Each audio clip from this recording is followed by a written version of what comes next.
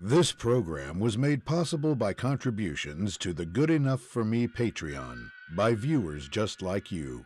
Thank you.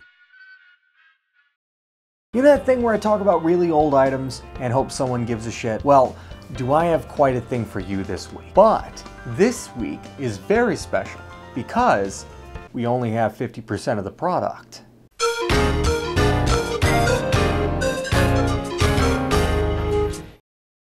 This is the Max Media Player, the future of watching and playing media and game backups on your Nintendo DS Lite. Well, about 50% of it. If you're familiar with old DS flash cards like R4s or M3s for example, you should know that there was something before that that was attempting to bridge the gap between the DS and the PSP, and their differing abilities to play media. Which is to say, the DS didn't have shit. Fucking thing sucks! This is where the Max Media Player comes in. This handheld had two parts, the DS cart and the fat chunky badonkadonk that was on slot 2. Holy shit, is that Sonic Adventure on that kid's screen? This product, made by Datel, was sold at Walmarts and played media, music, photos, homebrew, and game backups. If you were feeling like you wanted to risk being a little bit spicy. You are a pirate! Pretty cool, but it was ugly as shit. You're probably wondering though, Fost, why don't you have the ass end of this device? Well, this thing is so hard to find these days. It's terribly priced, and if you don't know, this thing used compact flash cards inside the bottom section. You know, the storage method that uses frail, shitty connecting pins for some reason, instead of something normal, like micro SD cards. The Max Media Player was prone to this kind of breakage on those little pins because, as you guessed, it sucks dick.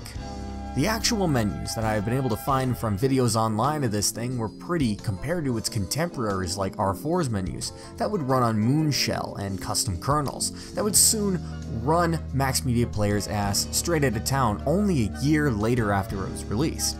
Now, I would say this is quite similar to a course I took in anthropology when humans ran other human species out of town. You know, Neanderthals like you who should have left. You know, in searching for footage for this thing, it's starting to make me feel old because not only are all the videos 15 years old, but also in 144p. Sorry, it's actually, I'm not used to that. I'm not used to 144 pixels. I remember the days when I would download DS Homebrew for this thing for hours and infect my parents' computer with plenty and plenty of viruses. Why did the Max Media dock get absolutely shafted by the R4? Well, the R4 contained a micro SD card slot, meaning the GBA slot didn't require a big clunky cartridge. The R4 had better software and was much less prone to breaking. You know, it's, it's pretty basic. It's cool. You know, it's got a few extra things, you know, like different shaped, uh, hang on here.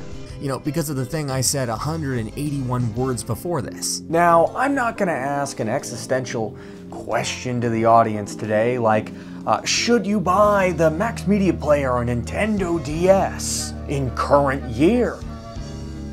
Gone sexual. In fact, I'm, I'm gonna be honestly the most straight with you I have ever been in my entire life. In fact, I'm gonna I'm gonna spoon feed you the answer. I'm gonna spoon feed it to you with a spoon, kind of like the other video, the Thumby, that also fits in a spoon.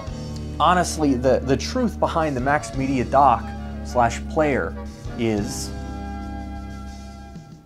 yeah, don't buy it. You, you, what do you what do you want me to say? You want? I don't have time to drink water. I'm a businessman. Zoom into the dick.